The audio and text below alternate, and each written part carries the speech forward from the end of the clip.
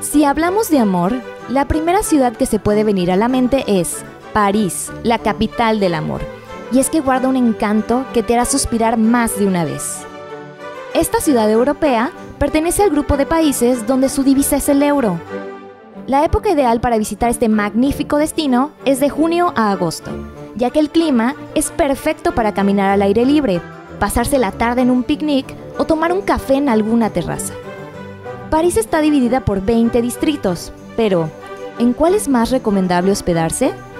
Lo mejor sería quedarte en los distritos del 1 al 10, ya que cuentan con el mayor número de atracciones. El más económico es el distrito 18, pues es el más alejado.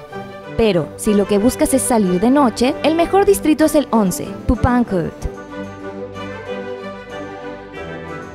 Una recomendación importante es reservar con tiempo, y una estadía de tres días es ideal para conocer la mayoría de sus atracciones turísticas.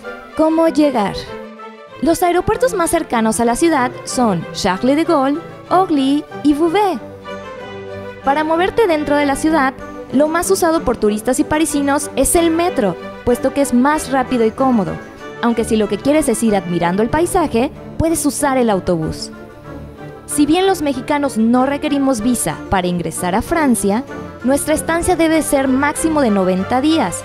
Debemos contar con pasaporte, comprobante de reservación de hotel u hospedaje, recursos financieros suficientes para nuestra estancia por un mínimo de 50 euros diarios, boleto de avión de regreso a México, seguro médico y de repatriación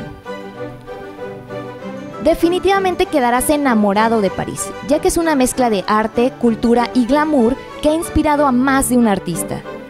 Suscríbete al canal de Best Day para descubrir más sobre la guía de París.